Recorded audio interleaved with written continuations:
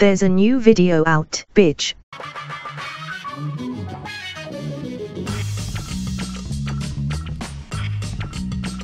I like the Defenders, but they do some stupid stuff, and we'll get to that. So this is a review slash critique of the Defenders. First, let's talk about the story is simple. It talks about four individuals with distinct colors to distinguish them from one another who happen to stumble across an ancient conspiracy that threatens New York.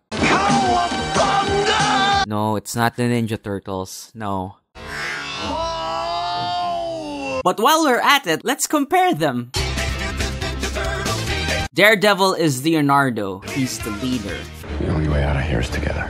Matt is still reeling from the death of Elektra. And when we catch up to him, he's debating whether or not he should continue being a hero or just stick to being a lawyer. A sign of indecision.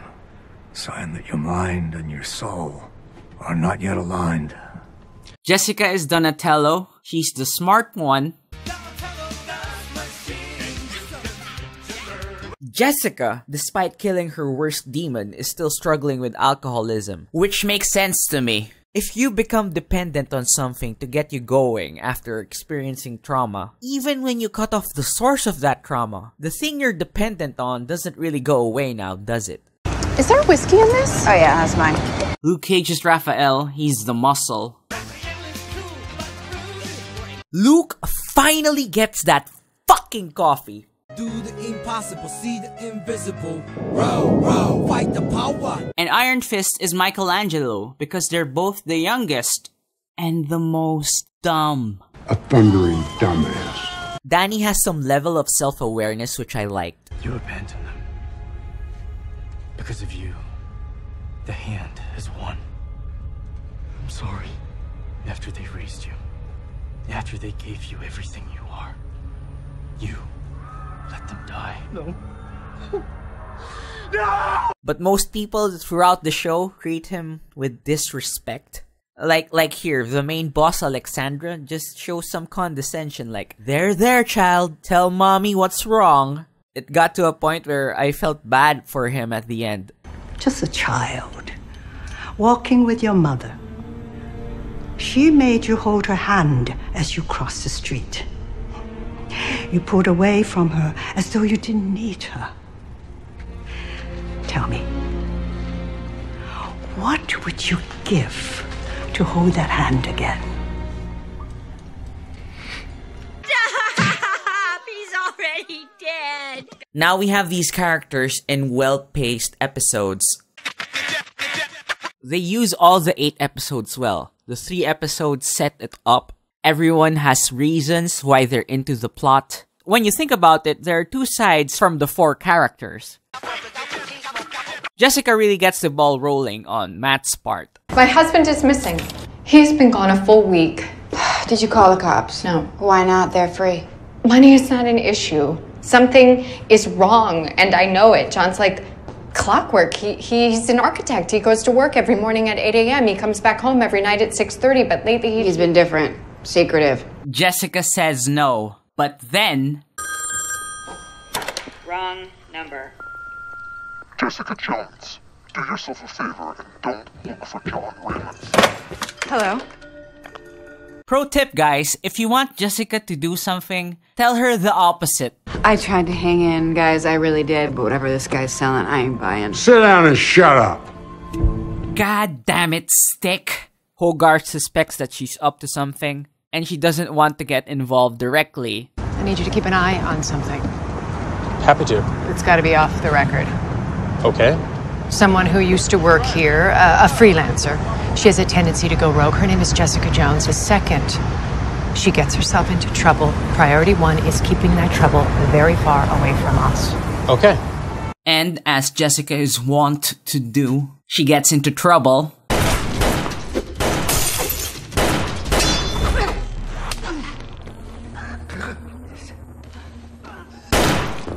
What's with Jessica and people killing themselves? Away! Away! That's where Matt comes in. Jessica Jones, stop talking. Hi, this is Oprah. Who the hell are you? My name is Matthew Murdock. I'm your attorney. She's confused because he should have said, I'm not her attorney. Are you a public defender? Uh, no. Then what are you doing here? A friend referred me. He works for. Let me uh, guess. Jeri Hogarth. Right. And since Jessica's digging around, Matt has to dig around. And that's why they end up in the building at the last part of the third episode. Danny is after some hand people, and they manage to find a warehouse. And then this guy shows up, who is being tailed by Luke Cage because he wants to save him from his misguided intentions. Listen, I can help you. Hypothetically speaking, if you ever need anything, I think you should go. Ask anybody on this block what I've done or what I'm willing to do. It's too late for all of that. What do you mean it's too late? Nothing, man. Son, it's never too late. Yo, man, I ain't your son. I told you I don't know a damn thing. Laddie laddie, just disintegrating bodies. What?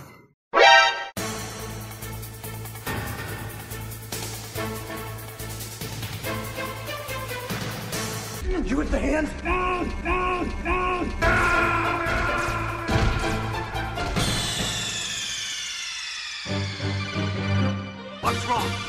Snake! That was fun. What was I doing again? Who are you? Who are you? They have a misunderstanding, and it's a superhero misunderstanding fight. NANI?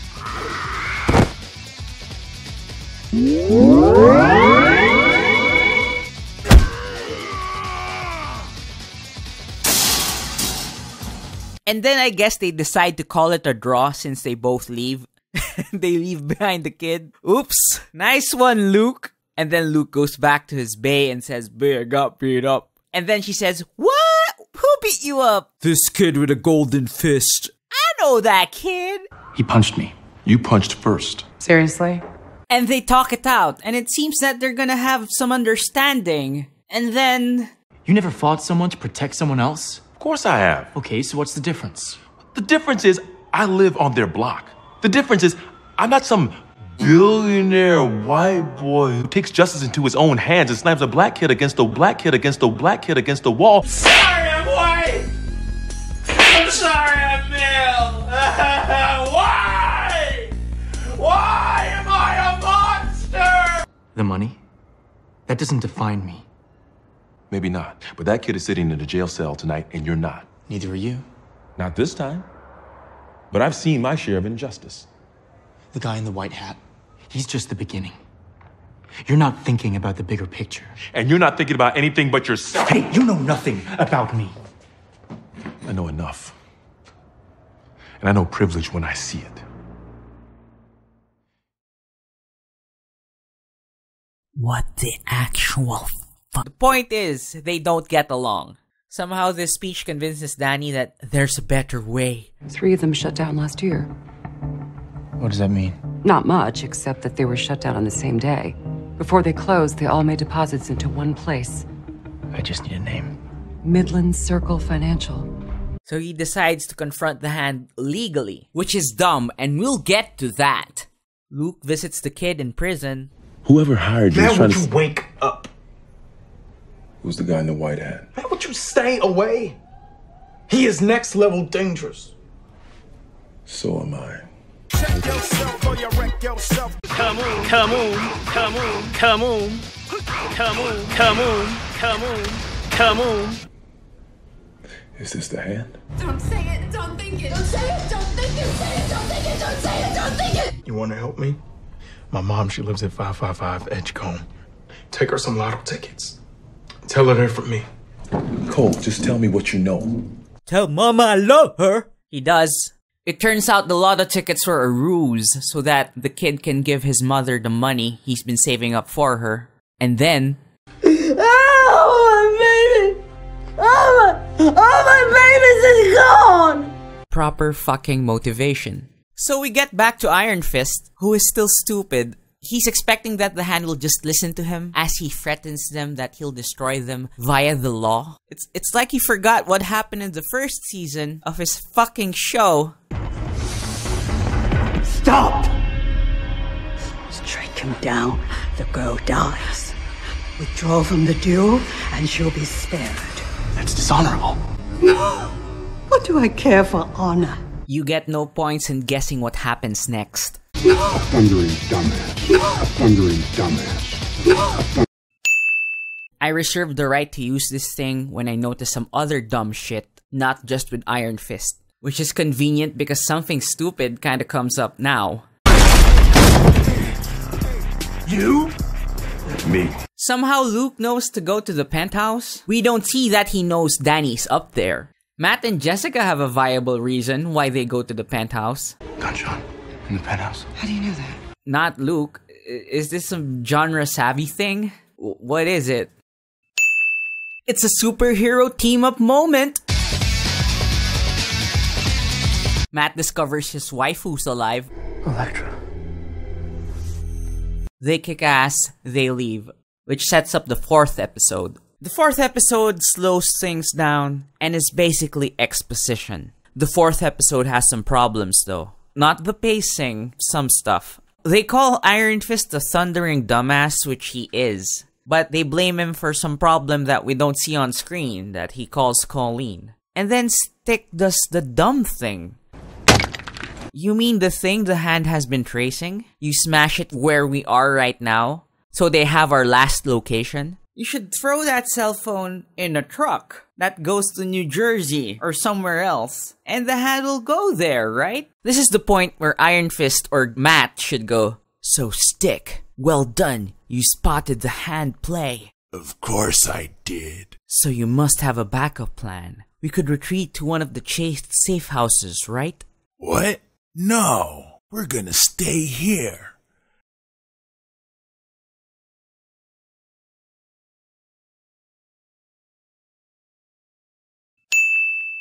And then Stick does his thing where The Hand is an ancient evil organization. then he introduces the hand. We have Black Hand, Brown Hand, Imperial Yellow Hand, Communist Yellow Hand, and Strong Independent Female White Hand. Or sh- should it be Finger? Ah, fuck it. Hand is funnier. Matt and Stick don't talk about Elektra and her being the Black Sky. And the Black Sky is a problematic thing because in the first season of Daredevil, they hype it up as this world shaking thing that has to be stopped at all costs. And Stick killed a kid who was supposedly the Black Sky. Oh yeah, oh yeah, since we're talking about the first season, what happened to this guy, huh? He would have been useful. Yeah, sure, everyone in the Chaste died except for Stick, but I don't believe that that guy went down at all. So it seems like the Black Sky is just some super strong person. Elektra could beat down people when she was younger. Does that mean she's super strong when she got old? Or did her resurrection have to trigger her Black Sky potential? I don't know, it's weird, but she works as a Terminator villain, unstoppable force. It's just that the Black Sky is kind of a letdown when you think about it. For all the talk of a Black Sky being some sort of oblivion thing, Black Sky, the bringer of shadows. it's just very strong person. I mean, look at the kid. He's a scrawny brat who's chained. Maybe it's not physical strength. Maybe he could have summoned some sort of shadow. And the last episodes are just building up to that climactic battle. Episode 5 also has this fun moment with Luke Cage and Sowande. He's throwing punches, right? You know, the same punches that Danny was throwing around earlier? And Luke's skin doesn't affect him? Stick said something about Couple of moves. He'll slow your pulse till your heart fails. which implies that he knows some ancient martial art that has pressure points or something that affects you internally. I know some ancient martial arts, Hokuto Shinken, or the Hyuga clan's Hyuga Ryu, Juken Ho. You know how they apply their internal martial arts?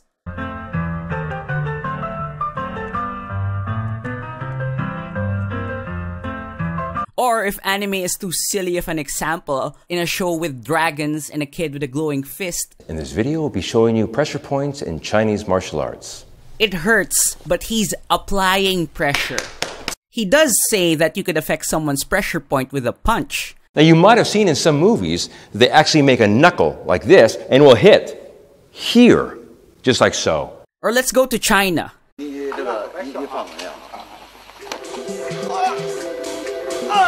If this is real, this guy is still throwing a punch. Sowande does the squeeze thing here. Just like so. But the two finger punch is still a punch. The first punch looks like it's an actual punch. The next two strikes are like light taps. Do you know what would happen to you if you punch someone with unbreakable skin using only two fingers?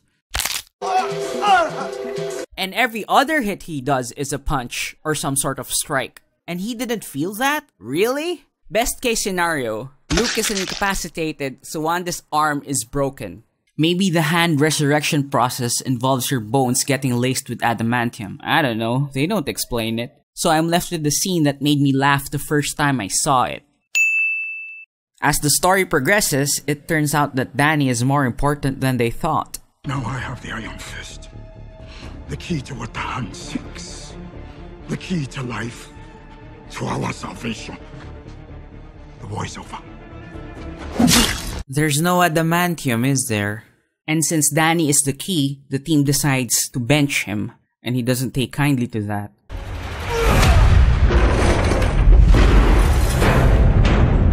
I wouldn't call this dumb, maybe it's understandable. Danny wants to fight the hand since forever, and now they're telling him that he can't. He thinks it's a trap.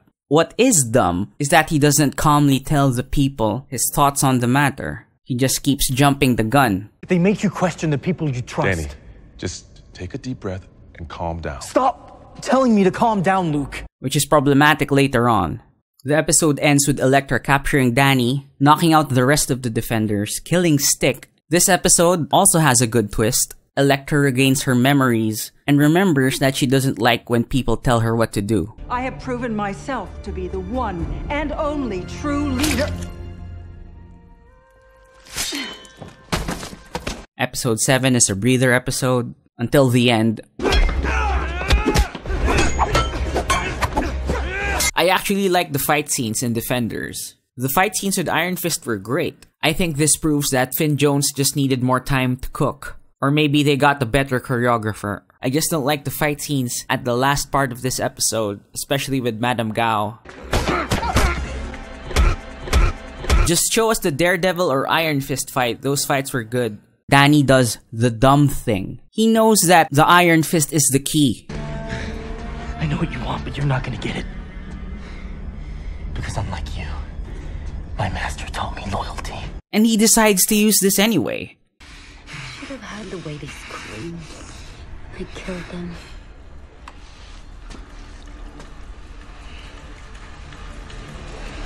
It's a trap!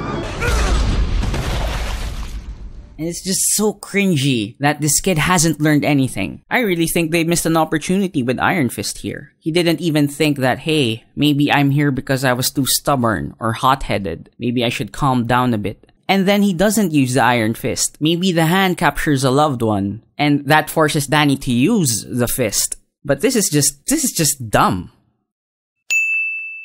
So they beat everyone up, and Daredevil decides to stay with Elektra until he manages to turn her back to the good side, or at the very least, he'll die trying. And I think it's a nice way to end it. They save New York by bombing the building, and everyone's happy except for Foggy and what's her face? Karen. But oh, oh my god, it turns out Daredevil is alive. this twist would have worked if they didn't announce the third season, like after the second. I'm like, oh no.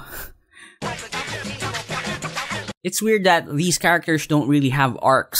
Danny, Luke, and Jessica are more or less the same persons when they started this series. Matt has some sort of resolution to his issues. Overall, The Defenders is a fun watch, entertaining, but the dumb moments really stand out. It's hard to recommend the show when the main plot's climax revolves around the person being dumb.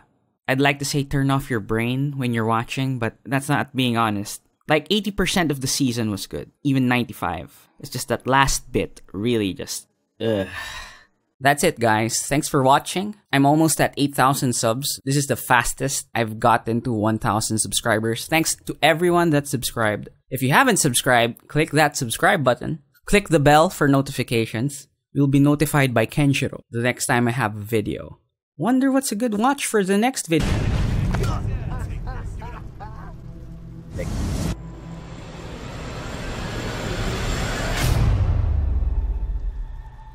What if we can change things?